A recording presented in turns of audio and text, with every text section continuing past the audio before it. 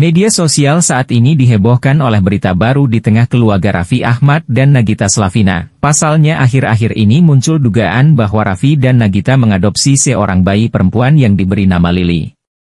Seperti yang kita ketahui Raffi Ahmad akhirnya buka suara terkait kabar yang mengatakan dirinya dan sang istri Nagita Slavina mengadopsi seorang anak perempuan.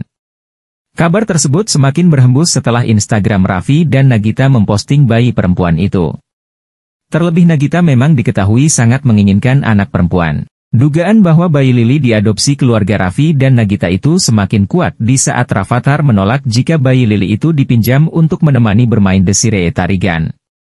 Di momen itu juga Raffi sempat memberi kode bahwa sosok Lili juga sudah sangat dinantikan oleh kedua putranya.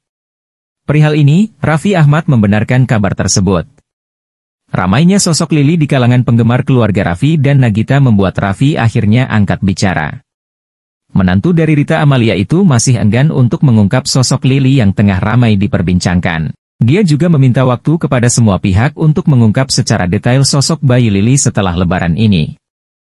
Nanti Lili kita ceritain aja nanti. Si Lili itu bayi Pak Haji.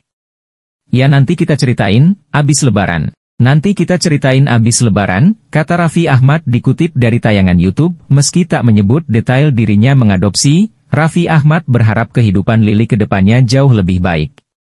Yang penting niatnya baik, kata Raffi Ahmad ditemui di kawasan Jakarta, beberapa waktu lalu.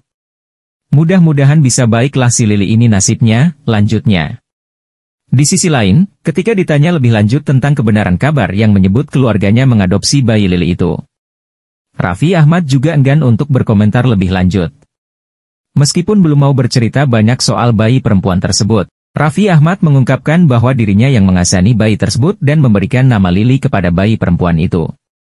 Raffi juga seperti memberi kode bahwa keluarganya mengadopsi bayi Lili dengan harapan kehidupan Lili bisa jauh lebih baik. Kemarin aku adzanin juga. Tapi ya mudah-mudahan bisa baik nasibnya. Disebutnya Lililah, Kata suami Nagita Slavina itu, selain itu Raffi Ahmad dan Nagita Slavina tengah menjadi perbincangan hangat usai dikabarkan mengadopsi bayi bernama Lili. Kini, masyarakat ramai membicarakan asal-usul baby Lili dan alasan pasangan Sultan Andara itu membawanya ke kediaman mereka.